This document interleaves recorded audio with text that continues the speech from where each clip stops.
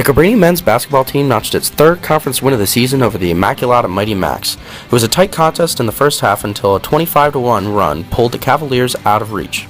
Junior forward Tyheem Monroe continues his impressive double-double streak, reaching 34 games, leading the Cavaliers with 25 points and cleaning up 18 rebounds. Sophomore Kwame Dokes posted a career-high 12 points, while junior Daryl Bagwell fell just short of a triple-double, posting 12 points, 8 rebounds, and a career-high 9 assists. Junior Kane McGovern had a nice night coming off the bench, hitting three three-pointers. The Cavaliers' 97 74 victory moves them to 5 2 overall in the season. Next up on the docket is Division One opponent Lehigh.